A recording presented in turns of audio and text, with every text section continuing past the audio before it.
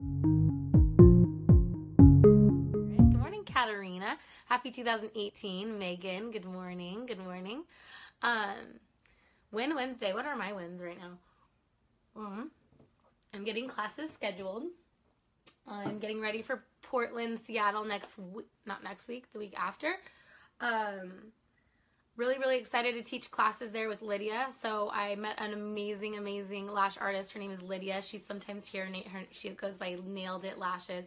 I mentored her a couple months ago, back in September when I came to the Pacific Northwest, and she was an ama- she is an amazing lash artist, and um, I was very impressed by her skills. She actually really inspired me. So I've been teaching um, how to do lash extensions for five years. I've had I have two lash studios. I've had one growing at we had our 10 year anniversary, but really what that is is that serves as 10 years since I started um, doing lashes in 2007.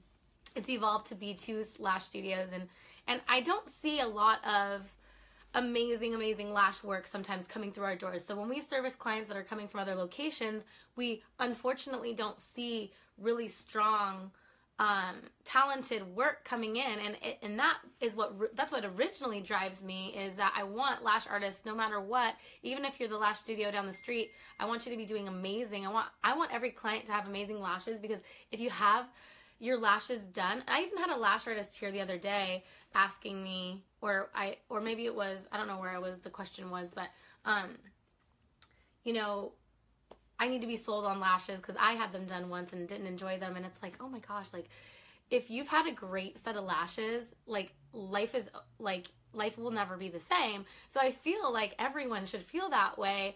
And um, so I'm passionately training and I'm, I'm training and I'm mentoring and as many people who will let me speak to them, hence why I'm here every day and trying to teach you, trying to inspire you, trying to make sure everyone in the world is doing lashes correctly. Um, met Lydia I, I just started putting myself out there further and further last year. So 2017, I started this live stream. Um, 2017, I started tr- traveling and training because basically I've been training in San Diego, Monterey, and then maybe LA in between. I haven't really branched out um, to train anyone else outside of these areas. But now that I'm here live and I'm meeting you girls and things like that, I'm I, you know I have new opportunities opening for me.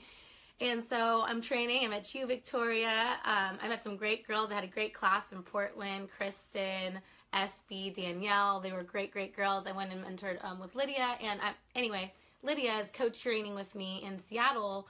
And I usually, you know, I nurture lash artists to to become to the to the point of training with me after I've trained them and they've practiced for many years. But I met this lash artist who does lashes completely different than I do with complete tweezers that Brilliant doesn't even sell. This girl is off the chains and she does a great phenomenal job, which is what I love. It was it was like that is what I love. I love that you can do lashes whatever way works for you with whatever tools work for you as long as the end result is that industry standard that people are walking around with amazing lashes. Like that that just drove me wild. So I love that and that I'm all about that. I'm teaching you what works for me and I share my experiences in hopes that that will help you if you are ever in a in a place where you feel lost or you can remember a story, but do lashes however, you know, works for you as long as you have that end result. And I am literally rambling. Thank you for um, encouraging me to ramble because that is what's going on right now.